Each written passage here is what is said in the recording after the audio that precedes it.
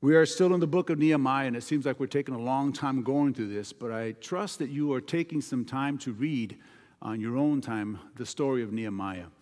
It is an awesome story. This story of rebuilding, the story of, of this reconstruction project, it has a lot of, lot of applications for our lives, personally and also corporately. There's much that we can learn from this rebuilding project that God put in the heart of Nehemiah to be able to do. And that's what God wants to do in our lives. He wants to rebuild and restore us His way. And because God provides and God is good and God is gracious, as we listen to His word and as we listen to His ways, God starts to do those things in our lives and, and transform each and every one of us. But as in the story of Nehemiah, when God starts to work, the enemy's not happy. And so there's challenges that come with that, and we need to be mindful of those things. And we need to be trusting God in how He is going to work those things out and to give us the discernment on what He is doing and what the enemy is doing so that we follow God's word and God's ways.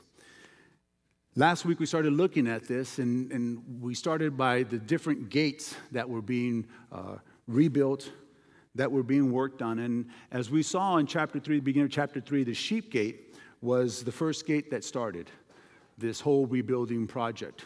And remember, we, we talked about that. The sheep gate is where the, the animals that were going to be used in the temple sacrifices uh, would be brought in. And so it reminds us that Jesus Christ made that sacrifice for us. That our restoration, and our rebuilding spiritually starts with what Jesus did for us when he gave his life when he was, became the Lamb of God who takes away the sins of the world. We then saw that there was the fish gate. And the fish gate was where the men of the area would go out to the local bodies of water, if it was rivers or streams or ponds or lakes or the sea, and they would bring the fish into the city. And remember, that's what Jesus, when he called his disciples, he said. He said, Follow me, and I will make you fishers of men.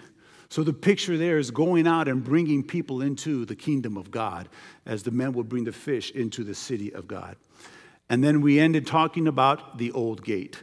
And the old gate spoke about, the, it was believed, the original gate that led into the city. And it spoke about the old way of serving God. It spoke about the old traditions and the old laws that, that people would try to serve God. But it speaks about our old life and how now we have a new life in Christ Jesus and we have a new relationship. And we start um, with this process of being on this journey with the Lord. This map that we're looking at kind of gives us the overlay of what the wall would have looked like, what the outline of the city would have looked like, and the 10 different gates that led into the city. And so this morning, we're going to continue to look at some more of those gates and some more of the walls and sections that are being built. And there's a lot of activity that starts to happen through the rest of this chapter.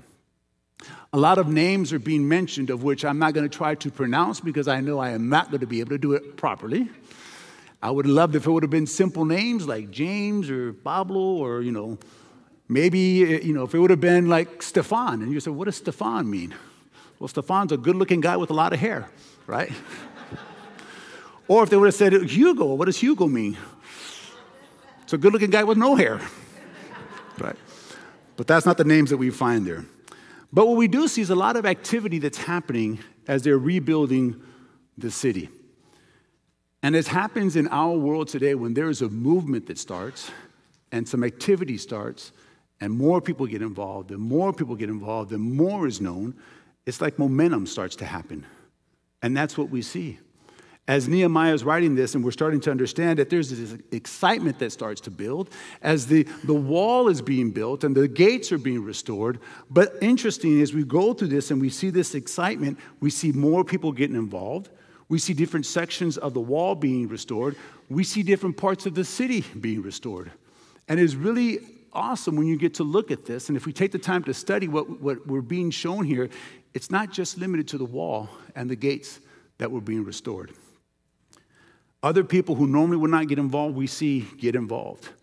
Other things that we don't think about being restored because the story focuses on the wall and the gates, we really do see that there is more that is being restored.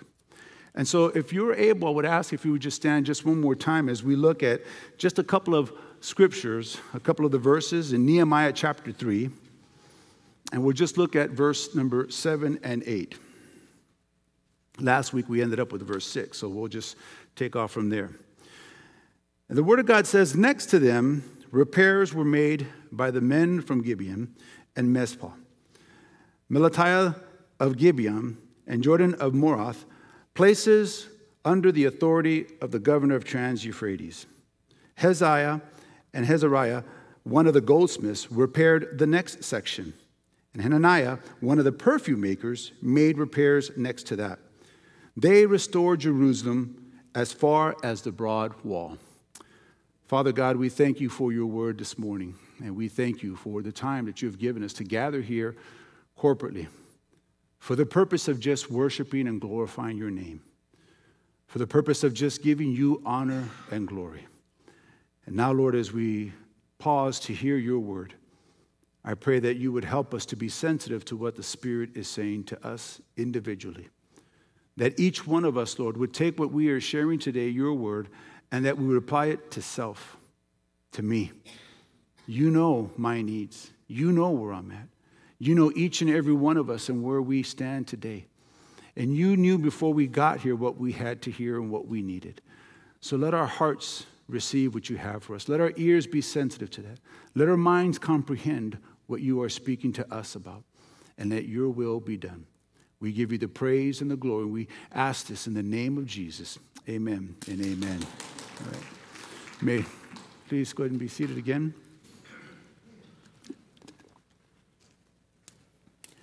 They restored Jerusalem. That's what this chapter was about the restoration process that happened during this story in the life of Nehemiah. And what we see from verse 7 to 12 is all these names, and we see these sections of the wall, and we'll see towers that are being identified, different things that are happening, activity that starts to build among the people as God had sent Nehemiah to Jerusalem and said, Hey, uh, you know, we're, we're in disgrace. We're in great trouble. The wall is torn apart. The gates are burned down. Everything's a mess. And remember that uh, in chapter two, the people said, Well, let's get busy. Let's get to work. And people started working on this. But what we see, and I think it's important for us to understand, is that not only were they focused on the wall and the gate, but there were other places within the city that was also being restored. In verse 7, when it talks about the places under the authority of the governors of Trans Euphrates, what it's talking about is the residences where the leadership of the governors would reside. So the, the reconstruction or the rebuilding wasn't just the wall, we see that the homes were also being restored. We see in other parts of this chapter, there are other parts that were being restored. And we also see that many people from different levels of responsibility, with different skill sets, with different talents were also getting involved. It wasn't just a small group, it wasn't just a small segment. But when you look at these verses, uh, for example, Melatiah and Jordan, these were, Melatiah was a leader of people. He had some responsibility of authority, he had some, some position of, of, of administrator, so he was a leader within the community that was also involved in the work. Jordan was a prophet. He was a man of God who would bring the word of God to the people, but he also was involved in the work. And then in verse 8, we see where it talks about goldsmiths that were getting involved. And we see where it says perfume makers were also getting involved. So the picture is that there was people from different levels, different walks of life, different areas of responsibility, different skill sets, some rich, some poor, some young, some old, some weak, some strong, but it was an effort where everybody was getting involved as they understood that they were rebuilding the city of God. And then it talks about in that last verse we read in verse 8 that broad wall. And so at first we're saying, wait a minute, the, the, the reconstruction was talking about the wall around the city and the gates. But now it's talking about this broad wall. Well, was there only one wall that, that Nehemiah was working on? I think we have an image here that we can show another picture. Maybe, maybe not. So, this is another rendition you can see on the, let me look at this way, on the right side, the city, but then at the bottom of the picture, you see this other wall that's there. This was the broad wall that's mentioned here in verse 8. And what this wall was protecting was that body of water. If we look at Second Chronicles in chapter 32, Hezekiah, as the Assyrians were coming and invading Judah and then coming towards Jerusalem, Hezekiah says, Well, wait a minute. This army is advancing, we want to protect the city, but we also want to protect the water that's for the city. Why should we allow the enemy to have access to that? And so if you read chapter 32 of Second Chronicles, you see where this additional wall was built to protect an area outside of the main portion of the city. And I point that out because to me it spoke about the fact that, hey, it wasn't only rebuilding the wall and the city, but there was work happening outside of the city as well, as God had sent Nehemiah to go and do this work. In verse 9, we read about other leaders that are helping out in this project. In verse 10, we read about people who are rebuilding and constructing in front of their homes. So now we're talking about the residences. The people, the dwellings where the people lived was also being worked on during this project. And in verse 11, when you read that, it talks about the Tower of Ovens that was being rebuilt during this process. Now, the Tower of Ovens was where the Levites would bake the bread that was going to be used in the temple, but it's also a place where people would bring their goods to be cooked and be prepared to be able to provide for the nutrition of the people within the city. It was this huge tower that had several ovens that people would come and they would cook their goods there. So, as we look at this, the picture in my mind, I'm saying, wait a minute, it's not just a wall now. We're talking about building up uh, outside of the immediate city. We're talking about building up where people can provide for themselves. That's building up the infrastructure. That's building up the sustainability. That's building up the economy that is within that city. As I said last week, God is a God of purpose. God is a God of order. God is a God of intention. And when God has a purpose and a plan, He's thought everything out and He already knows what should happen, how it should happen, who's going to be doing it. God is not a God of confusion or a God that's, you know, you get to a certain point in your life and, and then you're like, well, now what? And God says, you know what? I didn't have a contingency plan for that. Let me get back to you. Uh, God doesn't say, hey, you know what? I didn't think that was going to be possible, so maybe we got to do plan B. Maybe we got to change. No, God is perfect, and He knows exactly what His will is, and He knows exactly what He's going to do we're the ones who sometimes get it mixed up and get confused. And we're the ones that don't realize and don't recognize the path that God wants us to be on. And as we look at this rebuilding and uh, construction, we see how God thought of everything not just protecting the city, not just putting the gates up, but outside of the city, the community, the well being of the people, the economy, restoring their homes. This project was a massive project that was happening not just limited to the wall, as many of us may think when we first read this story. Even in verse 12, if you look at verse 12, what you see is that there's children that are getting involved in, the, in this project. When it says that the daughters of the, the men are also helping out. So this is men, this is women, this is young, this is old. It is a communal effect or work that is happening as we read this story. And then when we get to verse 13, it talks about another gate and it talks about the Valley Gate. Now, the Valley Gate is interesting because as historians and theologians and archaeologists have looked at this and studied this over the years, it is believed that the Valley Gate was probably the lowest in elevation of all the gates. So that was interesting. And the other thing is that it was positioned, if you remember that little map, it was positioned in a part of the city where it led to all the different regions and valleys in the area. And so, anybody, Jerusalem is up on a hill, anybody in those regions and those valleys could be able to look up and they'd be able to see Jerusalem, and they would be able to see that gate to be able to enter in. It was probably the easiest gate to enter in through because of its proximity to all the regions, because of its elevation to be able to enter in. So, it was called the Valley Gate for a couple different reasons. But you know, it reminds me of when Jesus when Jesus was giving the Sermon on the Mount. And he was talking to all the people and telling all the people, you know, uh, uh, he's talking about the kingdom of God. He's talking about life. And he's saying life is difficult. And you're going to have trials and tribulations. You're going to have struggles. You're going to have all these things that are happening. And he says, You know, there's all kinds of ways you can deal with this, but I've come to show you the way to deal. I've come to show you the right way to deal with these things. I, have come to give you new life.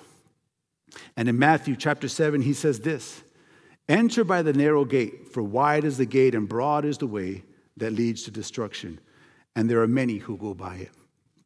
You see, the world offers all of us different ways to live our lives. The world says you can do whatever you want, however you want, when you want. It doesn't matter. There's no accountability. As long as you're good with it, doesn't matter how it affects anybody else. Who cares? Do whatever you want. Advertisers live on that. Nike's, what's Nike's slogan? Just do it, right? Just do it. Who cares? Doesn't matter in the end. Yes, it does.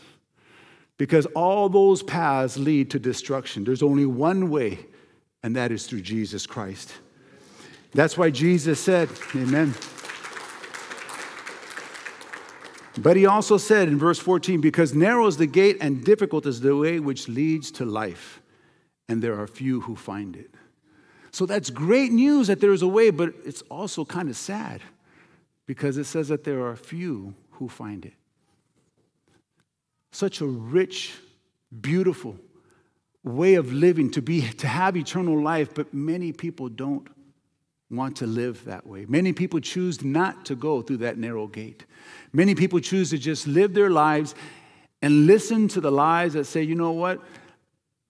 Live your life because when you die, it's all over. No, it's not. When you leave here, you step into eternity. Every one of us has an eternity. The question is, where will you spend eternity? Will you spend in the presence of God Almighty? Will you spend it with Jesus who says, You know, I, have come to save you? Or will you spend it apart in eternal condemnation and in hell? Jesus said in John 14, 6, Jesus said to him, I am the way, the truth, and the life. And no one comes to the Father except through me. He is that valley gate. He is the one that we can enter into. But the other thing about it is that because that gate, that valley gate, was at the lowest part, it's also a picture of how we come to the Lord humbly.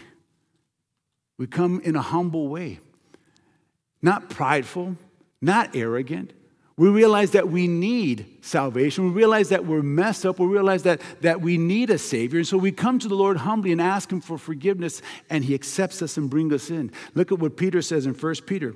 He says, Therefore, humble yourselves under the mighty hand of God, that He may exalt you in due time. Casting all your cares upon Him. Why? Because He cares for you. Isn't that awesome? He cares for you, He cares for me. And no matter what you're going through, he was right there. Today, some of us are struggling with some things, and guess what? He cares about you. He cares about your health. He cares about your finances. He cares about your relationships. He cares about your work. He cares about your family. He cares about everything because He cares about you. And He has a better plan for each and every one of us. But Peter also gives us a little bit of a warning here because he says in verse 8 Be sober. Be vigilant because your adversary, the devil, walks around like a roaring lion, seeking whom he may devour. See, Satan wants to twist the words of God. Satan wants to cause confusion. Satan wants to cause all kinds of problems in your life. That description there, I'm, you know, I'm reminded of, of my grandson Micah. He's learning how to make sounds of the animals and stuff. And so I'll say, "Hey, Micah, what does a lion say?" He goes, "Rawr!" Right? You know, he puts his hands up, and that's a picture of Satan. That he wants to put up his claws and he wants to, to growl and make all kinds of noise and, and make you feel fearful. But when you are in the hands of the Almighty, when you are in the, in the hands of Jesus Christ, doesn't matter how much noise or how many fangs or claws or problems or trials or tribulation the world or Satan or sin want to bring, we stand on our Savior, we stand on the Word of God, and we are assured of an eternal promise. The valley gate speaks of us coming to the Lord humbly. And it speaks that anybody and everybody, for whatever walk, whatever region, whatever valley, whatever trial, whatever tribulation, can come into the kingdom of God into this gate. The next gate that we talk about, or that the Bible talks to us about, is in verse 13 when it talks about the dung gate. Now, in some Bibles, it may say the rubbish gate or it may say the, the refuge gate, but what it is is just that it's where the trash is taken out. See, the city would have this situation where everybody would take all their garbage, all the useless stuff, all the stuff that was wasteful, all the stuff that wasn't needed, and they'd take it out of this gate. It was the dung gate. You know, in our homes, wherever we live, if we live in a house or an apartment complex, or if we live in a townhome, or eh, once a week, typically you have the, the trash truck that comes and picks up all the trash and takes it away either takes it to a landfill or takes it outside the city limits. In some places it's burned, in some places it's just buried, but it's removed from where we live because it's of no value. It is waste, it is garbage. And so this gate was the dung gate where all the people in the city would take all their garbage and would go out that gate, and outside this gate they would burn all the trash. Speaks to me of how God works in our lives. That once we come into a relationship with God, once we come into a relationship with Jesus Christ, He says, You know what? I have so much for you. I have all these beautiful promises. I have all this, but I got to clean up all the stuff, the junk, and the garbage that's in your life. And we got to get rid of that. And we got to get that out of your life and take that out through the dung gate to get that out of the way because God has so much for us. Second Corinthians says this, therefore, having these promises, beloved, let us cleanse ourselves from all filthiness of the flesh and spirit, perfecting holiness in the fear of God. This is an active step on our part. You see, when we come to know Jesus and we start to read his word and we start to let the Holy Spirit minister to us and we start to get understanding, he reveals to us those things in our lives that we got to get rid of. Those things that we got to take from our lives and go to a dung gate and put it outside. There's no room for that stuff. That old person, those old habits, that old language, those things that you used to do, the things that, that didn't edify you or bring blessings to you, God is saying, get that out. I've made a way. Take that outside. Let, let the Holy Spirit burn that up. Just get rid of all of that because I have so much for you. And this is an active step that we need to take each and every day when we come before the Lord and ask God to help us understand. Purge me. See what's in my life. Help me to see, Lord, if there's something that I've said, something that I did, some attitude that I have, some action that isn't pleasing to you, that's garbage, so that I can get rid of that. But you know, we're not perfect. Christians aren't perfect. We're going to mess up. We're going to think things. We're going to say things. We're going to do things that, in the spur of the moment, we react and we don't realize and we're going to sin. And, and, it will happen because we are not perfect, we're just forgiven. And we're in this journey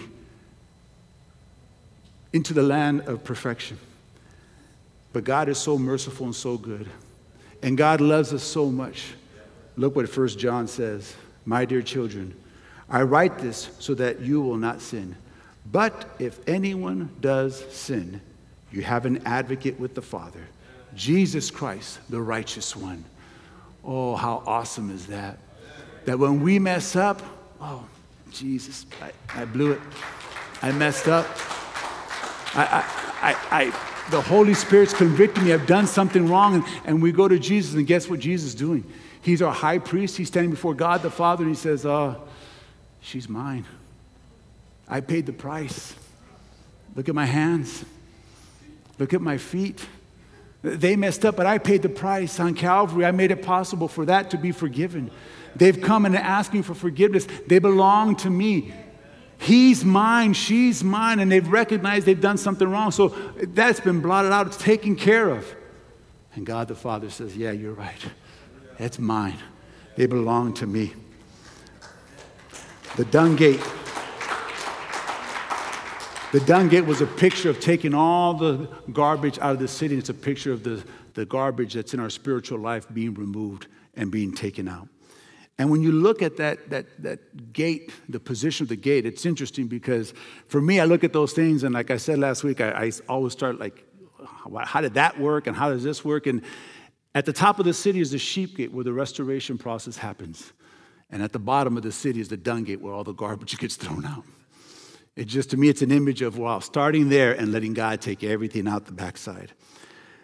But here's the other thing is that it's believed that when the people would take their garbage, refuge out of the city through the dung gate, they would not come in the same gate. They would go out, they would burn all their garbage, they would just get rid of all that, and then they'd come in through the next gate that we see in verse 15, and that's the fountain gate. And the reason they would do that is because now they've been burning all their trash, and now they've been around that, and the smell, the ash, the odor of that, they would, might, might be on them. And so instead of coming back in, they would go to the fountain gate because that's where water was for them to be able to wash their clothes, to be able to wash themselves before they came back into the city. In other words, they would clean themselves before they came back into the city of God. It reminds me of what Romans says. In chapter 12, it says, Do not conform to the patterns of this world, but be transformed by the renewing of your mind. Then you will be able to test and approve what God's will is, his good, pleasing, and perfect will. Being in fellowship with God and having Him purge us and clean us, and, and our minds being transformed, and our attitudes being changed, and our hearts being molded the way that God wants us to be and to cleanse us and clear all that old stuff and just renew us into the relationship that He wants us to have with Him. King David, the Bible tells us he was a man after God's own heart. He wanted to do everything that he could to please God. He wanted to do everything that was right in the eyes of God. But King David messed up. King David had an affair. King David had arranged for the husband of Bathsheba to be out in the front lines and lose his life. And, and King David was trying to hide a sin. And the prophet came to him and said, Hey, this is what you did, and you're wrong and you have sin in your life and, and God's not pleased and it has to be taken care of. And, and King David, recognizing now the horrific mistake he had made and how awful was what he had done and how he had sinned against God and sinned against the people. So he, he writes Psalms 51 and he says this Have mercy on me, O God, according to your unfailing love, according to your great compassion, and blot out my transgressions. Wipe them away, clean me, restore me. And then he says in verse 2 Wash away all my iniquity and cleanse me from my sin. King David's giving us a picture of that fountain gate. That once we've gone out and burned everything, we come and we say, Lord, just wash me from head to toe, clean me up, restore me, revive me, and bring me back into that fellowship. In verse 25, or from verse 17 to verse 25, what we read, and we continue as we read this chapter, is more people that are being named more sections of the wall, more areas that are being worked on. And you see that there's names of regular people, we see there's names of priests, of, of skilled people, unskilled people, all kinds of people that worked on the walls, they worked on the homes, they worked on, work, on the roofs. This massive project that was happening during this time. And then we get to verse 26 where we are introduced to another gate. And this is the water gate. Different from the fountain gate, but it is the Watergate. See, the Watergate was in an area where just outside of where these wells and these streams of fresh water that people would go and get water to be able to drink. It's like when you're working out in the yard or you're working outside and you've been working all day long and you're just hot and just thirsty, and you can't wait to get a drink of water. Yesterday, there was some of the guys working here. They were in the field, and we are grateful for the men who were able to help out there. And it was warm in the morning, so they had just limited time. But I bet when they got done doing the weeds and stuff, all they wanted to do was go sit down and drink a cold glass of water to restore and refresh themselves. Many years ago, when, my, uh, when I was younger, my mom and dad were doing all kinds of work in the yard, and I remember uh, they were just covered with mud and stuff, and, and my mom's face was red, and they sat down the patio, and mom said, Mijo, give me a glass of water. And so I went, I got her a glass of water, and I gave it to her. I put it next to her, she grabbed it, and she drank it, and it was just a, ah. She said, Mijo, you saved my life. because she was thirsty, and she was hot, and it was, that's the picture you get of this, of this Watergate that you go and, and, and the people that were working would get refreshed with this. Well, you know what? That's what the Word of God and the Spirit God does for us. When the people were celebrating the festival of the tabernacles, this is feast that they would remember and they live out in tents and huts out in the, in the open. And they remember how God brought the ancestors through the wilderness and that whole thing. And so every day the people would gather and they would have time with their family and they would remember those things. But on the last day of that festival, it was a, a, an enormous feast, an enormous uh, time where everybody got together. Everyone got together to worship. Everyone got together to just praise God. Everyone got together to just have fellowship. And it was throughout the week they were going and, and kind of in family units, but at the last, it was party on. Everyone's together and we're just going to have a great time and celebrate what God has done for us. Jesus says this in John chapter 7. On the last and the greatest day of the festival, Jesus stood and said in a loud voice, Let everyone who thirsts come and take a drink of me. Whoever believes in me, as the scripture has said, rivers of living water will flow from within them. Jesus was saying, Listen, I'm here to fulfill all your needs. And that thirst that you have, that hunger that you have, that's not something that can be satisfied with the things of the world. It's not something that can be satisfied with finances or materialism or relationships or any kind of vices. It's not something that can be satisfied with a career. It's not something that can be satisfied with relationships. It can't be satisfied with anything because that is, that is a spiritual need that you have. And that thirst that you have can only be satisfied with the drink of the living water. That water gate represented that drink that people would take that would refresh them, would restore them, would renew them. And that's what Jesus is for us. Jesus says, I am the bread of life. He says, I am the living water. And anyone who thirsts, anyone come unto me and take a drink, and that need will be satisfied. The psalmist said this in Psalms 23 The Lord is my shepherd, I lack nothing. He makes me to lie down in green pastures and leads me beside quiet waters. That's an image of green pastures. A good shepherd would lead their flock to green pastures meaning it was nutritional, it was beneficial. He wouldn't lead them to junk food, he wouldn't lead them to the garbage. He would lead them to where they would be able to satisfy themselves and be refreshed and be fortified and be renewed. And that picture of going by quiet waters, have you ever gone on a hike and then you get to a stream or a river and it's you're in the shade and all you hear is just that water bubbling? And you're like, man, if this could just be my life all day long, every day. It's so tranquil and so quiet. Verse 3, it says, He refreshes my soul, and He guides me along the right path for His name's sake. When we come to the Lord, He refreshes our soul. Many people are struggling and they're combative and they have this, this, this thing that's going on within them and they're never satisfied. They're never happy. They're trying all kinds of things. They're trying to see how they can make a better life. They're, they're uncomfortable and they don't even know why. It's because within them there is a need that can only be met with the relationship with Jesus Christ. The water gate is that drink of water, that spiritual drink that satisfies the need. The prophet Isaiah said this in Isaiah 40. Do you not know? Have you not heard? It's like, guys, don't you get it? Don't you understand? Don't you know? He says, The Lord is the everlasting God, the creator of the ends of the earth. He will not grow tired or weary, and his understanding no one can fathom. He gives strength to the weary and increases the power of the weak. Even youths grow tired and weary, and young men stumble and fall. I don't know how you feel, but I remember when I was younger, I mean, I would be up all hours of the night. I'd be able to do all kinds of stuff. I didn't, I felt like I was invincible. Now it's just a chore to get out of bed in the morning, right? And you're all laughing because you know what I'm talking about. Then you had that first cup of coffee and you're ready for a nap because that was a chore. or maybe tea, right? We're just sapped. We don't have any strength. We don't, but here, spiritually speaking, he's saying, don't you know? He is here to refresh you. He's here to revive you. Spiritually, you don't have to be worn out. You don't have to be tired. You don't have to be, you have living water that's available to you to restore you. And he goes on and says, But those who hope, those who hope in the Lord will renew their strength. They will soar on wings like eagles. They will run and not grow weary. They will walk and not be faint. Oh, what a joy to be with God, to have that relationship. How great it is to drink of the living water.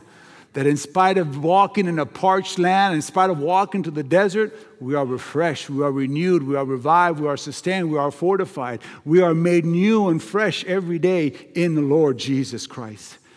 I'm going to be wrapping up here real soon here. But the other thing that we look at this chapter as we're reading here, remember last week in verse 5, we spoke about those men men of Tekoa, who for whatever reason did not want to get involved. They said they wouldn't put their shoulder to work. In some texts, it says they would not bend their necks to the work. Meaning that even within the people that were residents, people that were in the city, did not want to get involved in that project that was happening. The leaders were involved, but for whatever reason, the nobles, the people did not want to get involved. As I said, maybe they didn't like Nehemiah. Maybe they didn't like his approach. Maybe they didn't agree with him. Maybe they thought, you know what, this is the only thing, it's a waste of time. But they did not want to get involved, according to verse 5. But when you get down to verse 27, it seems it was a change of heart. It seems something happened. Maybe as they saw the momentum and they saw the activity and they realized the benefit of getting involved and, and seeing what was happening, they got involved. Because verse 27 tells us this Next to them, the men of Tekoa repaired another section from the great projecting tower to the wall of Ophel. See, so those guys at the beginning who did not want to get involved now are getting involved. Those guys who were sitting back or sitting on the sidelines and saying, nah, I don't agree with this. I don't like what's going on. Now, here in the chapter, we see, hey, it makes sense. I see what's happening. I want to take the section of my wall. I want to get on whatever gate. I want to help wherever I can help. And you see this project that just explodes with activity as Jerusalem is being rebuilt and fortified. Next week, we'll continue looking at some more of these gates. But last week, we looked at those first three gates, right? We looked at the sheep gate, we looked at the fish gate, we looked at the old gate, what has its significance and talks about us starting this journey. This week we look at these other three gates. We looked at the valley gate, the dung gate, the fountain gate, and the water gate, which talks to us about coming into a relationship with God, which talks about Him taking out those things which are of no value in our spiritual lives and, and taking them away from us, which talks about us being washed by the power of the Holy Spirit in His Word, and talks about us being refreshed in Him. And it speaks about us being restored, being revived, and being fortified spiritually the way God wants us to be rebuilt. We're reading about this reconstruction project, but really, what we, what we should be learning is how God wants to rebuild and restore us individually and as a corporate body. Amen. Join me as we pray. Father God, Lord, it's amazing how your word continues to speak to each and every one of us. Many people will look at the Bible as some ancient stories, as some historical information, maybe fairy tales, maybe something that, that is good and might have some practical applications. But Lord, it is your word. It is you speaking to us. It's you speaking to me. And every time we open your word and we start to read it, Lord, you are talking to us, speaking to our need, speaking to our condition, to our circumstances. It is you, Father, who wants to share your love with us. Lord, I pray that we would appreciate your word more and more. That each one of us would take the time privately to get into the Word, to get into study, to get into the meanings of the names of these, these gates and the names of the people and how you tie everything in because, Lord, you are perfect and it is amazing. You're always blowing our minds with, with how things developed and how your plan and purpose is perfect. And how those things happened back then, but Lord, they're happening today. Individually, Lord, you are rebuilding us. You're restoring us. Your word is refreshing us. And you care about us so much that in spite of whatever we may be going through individually, you're right there. And it is in you that we find the answer. It is in you that we find our comfort. It is in you that we find mercy, grace, compassion, and love. You are our hope. And Father, I pray that if someone today doesn't know you, someone today who does not have a personal relationship with Jesus Christ, they've heard about him, Maybe their whole life they've, they've seen stories and gone to church, and maybe during the holidays they, they check off the box because that's what, what our, our ancestors said we should do. But they don't know you, they just know about you. That today would be the day that they'd make that decision to say, you know what? I'm entering into the city, I'm entering into the kingdom of God. And I know I got a bunch of garbage and baggage that's in my life, and I want God to take that out of my life and fill it with His promises and with His love. And I want to be washed and made clean. And not only today, but every day, I want to be refreshed and renewed and restored in Him through His Word, through prayer, through fellowship, to enjoy the blessings that are found in the kingdom of God. We thank you for your word, Lord. And We thank you that you restore us each and every day. And we pray this in Jesus' name. Amen.